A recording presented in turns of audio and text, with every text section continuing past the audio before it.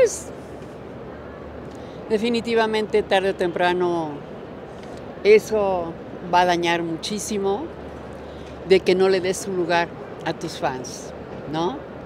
Eh, yo siempre le doy lugar a los medios, a los fans, pero bueno, esta nueva generación lo ve todo muy fácil. Y también esa parte, ¿no? Que muchos artistas han este, encargado también de tratar mal a, los medios de comunicación, tanto reporteros como la como seguridad. Que si no las necesitaran, Lucía, ¿tú crees? No, no, no. Todos necesitamos de ustedes y nosotros de ustedes y ustedes de nosotros. Yo le agradezco mucho a los medios que toda mi vida han estado conmigo, en las buenas, en las malas, que esto, que el otro. La verdad que a mí me han hecho mucho bien. Aunque me han inventado, igual, estoy vigente. Esto toca esta parte de que ha sido complicada la carrera, porque le ha tocado picar piedra y se ha ganado su lugar y ha logrado su nombre.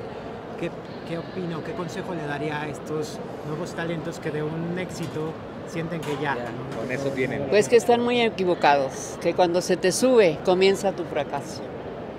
Porque por el claro ejemplo, ¿no? Tú sigues trabajando, te sigues sí. preparando, todo el tiempo es como esta clase de todos los días, ¿no, Lucía? Pues claro, mi amor, trato, trato de, de estar todos los días haciendo algo, todos los días preparándome, todos los días mm, viendo qué hago, pero están equivocados, definitivamente. ¿Y cómo ves la bronca ahorita que traen este Cintia Clitbo y Laura Zapata? Ay, no, yo no voy a hablar de eso, qué flojera.